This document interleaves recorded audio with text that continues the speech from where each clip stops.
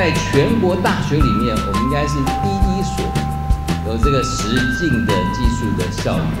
把艺术家的作品透过实境的技术来呈现。实境技术将会大幅度的改变整个人类的生活形态。那动物大学，我们走在前面。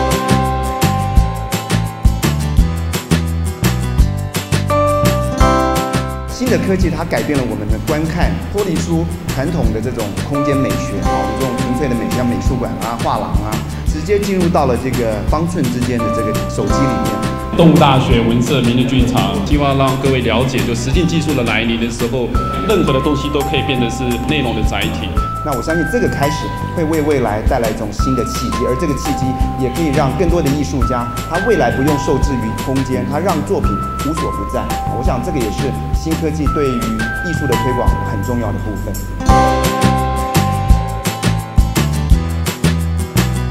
在二十一世纪新的一些思考、一些技术，会冲击到所有